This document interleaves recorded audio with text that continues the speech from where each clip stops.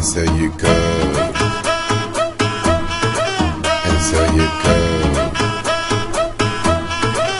You uh, go. You read the office every day, typing thousands lines of code. You spend your days debugging scripts, and your boss gives you the creeps.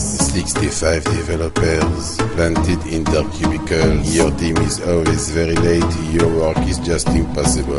The deadline is already missed. CEO is always pissed. You drown yourself in tons of code. What a lousy daily mode. You wish for something truly else to clean away the mess. But your boss is so stubborn. You're stuck. And so you code.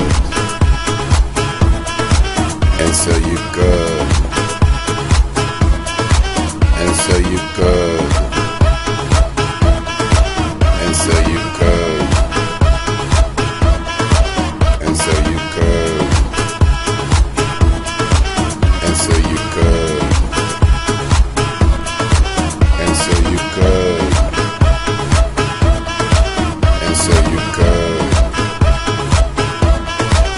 So you code. After